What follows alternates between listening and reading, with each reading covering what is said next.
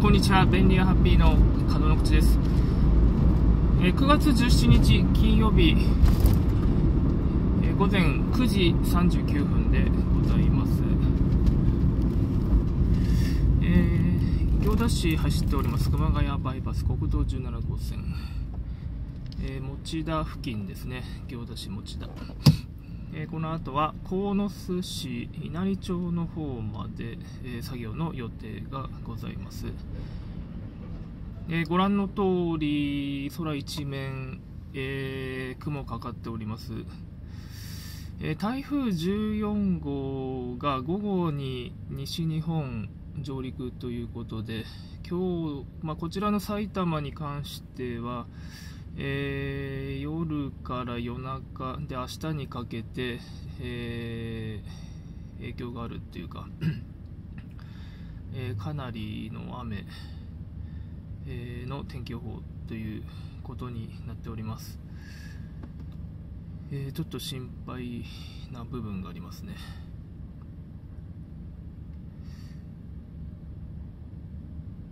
え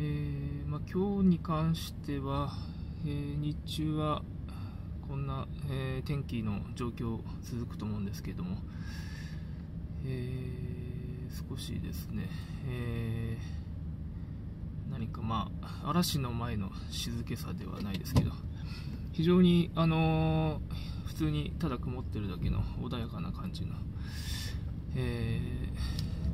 風景に映ってるかもしれないですけど、まあ、ちょっと心配ですね。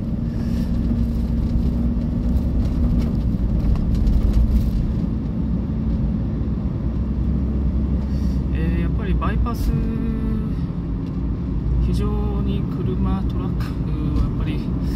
多いですね、えー、今日金曜日ということですけれども、まあ、お彼岸前に向けてもうだいぶまあ物はある程度はそれのお彼岸の前にということで物流に関してはもうある程度はえー、巡り巡ってはいるんでしょうけど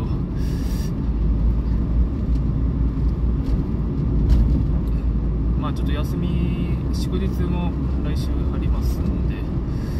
ちょっとどんな感じに、えー、なりますかね、えーまあ、車の数は多いですね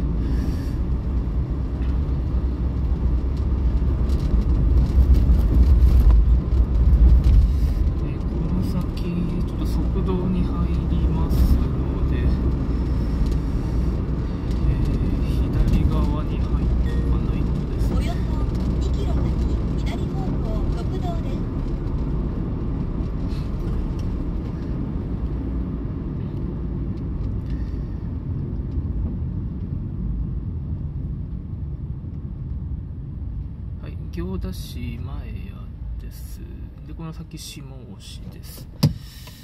ちょっと一旦ちょっと短いご案内となりましたがここで終了させていただきます。最後までご覧いただきまして誠にありがとうございます。失礼します。